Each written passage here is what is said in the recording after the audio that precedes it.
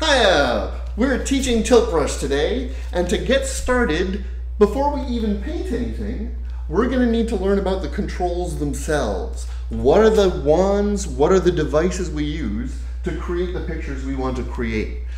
There's a lot of different ways that we can create art, whether it's painting or creating sculpture. And there's a lot of computer tools we can use to make creating art easier. Things like copy and paste uh, makes creating a large work of art a little faster than doing everything by hand. So this lesson is about the tools themselves, the actual controllers used to create in Tilt Brush.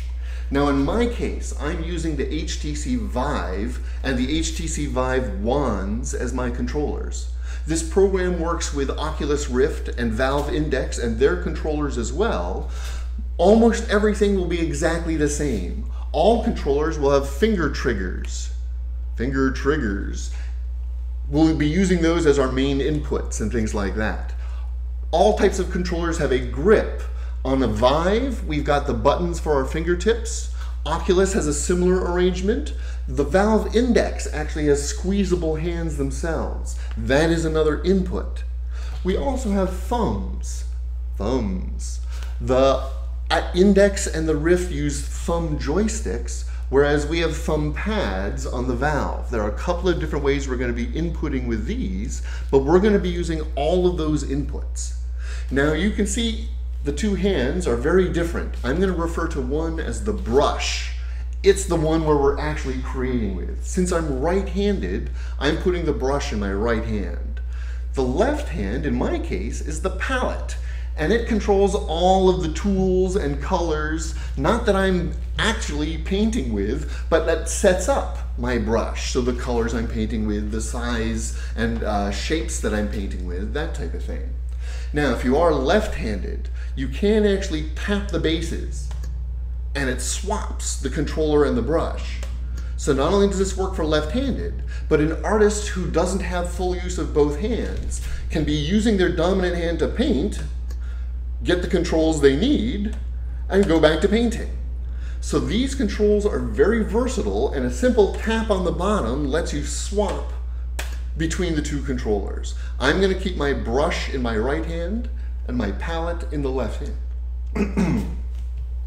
So let's focus on this brush here. It's supposed to be your paintbrush. Pressing and holding the trigger puts ink on the page, or in this case, light in the sky.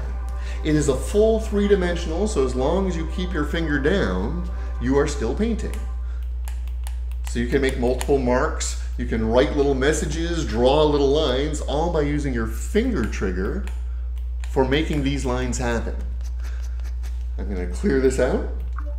So the brush tool, your main dominant hand, that little point at the top there, that little arrow, is where it's going to take place.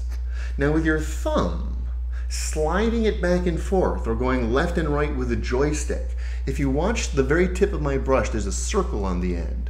When I slide it one way, the circle gets bigger. When I slide it the other way, the circle gets smaller.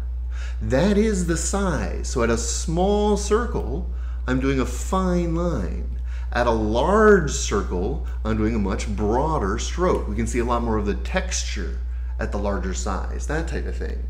So the main control for our brush hand, trigger finger to paint, thumb for the size of your brush, whether you want it smaller or larger,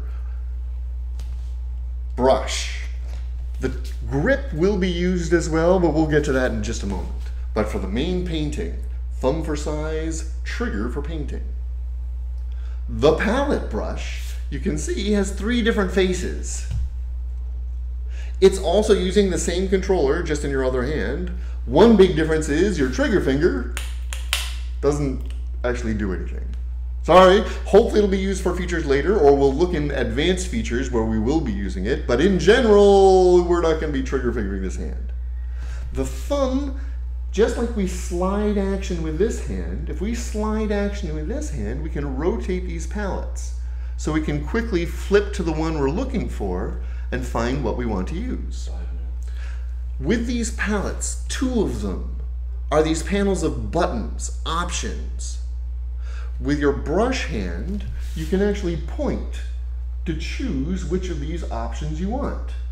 We'll be covering the options specifically in later classes, but it's a two-hand thing, so if one hand is immobile, we need to use the brush hand to find the options we want. We'll slide and choose. The third palette, instead of buttons, the third palette is our colors. Anybody who's used a computer graphics program, many of them will do a color palette using this same system. Here's how it works. The color palette has two pieces, the big circle and this vertical bar. The vertical bar is basically dark to light. So if I use my brush and drag those markers down, I all the way down is black, as dark as it gets. All the way up is pure white, as light as it gets, white. Anywhere in the middle, and we start to get the intensity of the colors themselves. So this is just lighter or darker. The circle lets you choose exactly what color do you want. If you click up in the vibrant green, now I'm painting vibrant green. If I choose the hot pink, we'll make it a pale hot pink, or perhaps a dark blue. So the color palette, the circle is the shade, the hue you're looking for, and the vertical bar is the actual light to dark value that you're looking for. So a combination of the two. Final note, towards the edge of the circle, you get these vibrant, intense colors. Towards the center of the circle is your gray colors. So saturation is the term. Vibrant colors towards the outside, vibrant blue, gray colors towards the inside. So it's a juggling act to find the exact shade of the color you want, but this lets you get almost any color that exists. So whether you're painting with light or oil paint or sheets of paper, we can choose whatever color we want for our brush tool. Choose the setting, trigger finger painting. That's the gist of it. The final piece of the puzzle are your grips.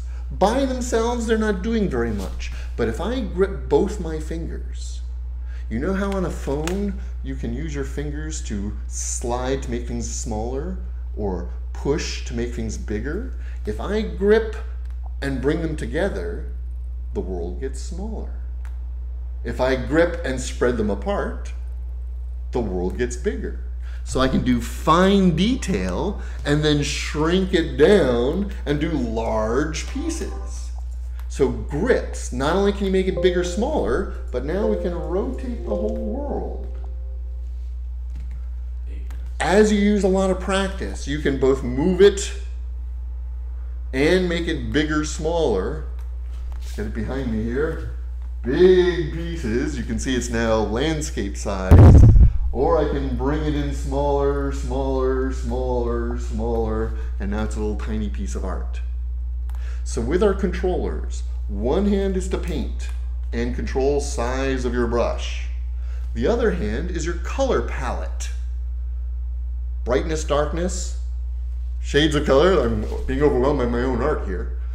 Finally, we're going to be using these different tools in later classes to see how you paint with different styles, paint with different objects. But the controllers, grips to manipulate the world, one hand paints, one hand controls. Whether you use Vive, Oculus, or Index, the main controls for Tilt Brush it's all about trying to line things up and paint what you see where you see it. There we go. So this lesson, teaching tilt brush, teaching about the controllers themselves. Once you get used to how things work with your hands, then you're going to be much better at putting the lines where you want them, creating the art where you need them. So this class, how to use the controllers, we hope you got a lot out of this. If you enjoyed, feel free to see what else we do on our channels. Likewise, feel free to let us know what sort of art you create. We're always interested in seeing what people do and what they're interested in. Thank you very much. This was Teaching Tilt Brush.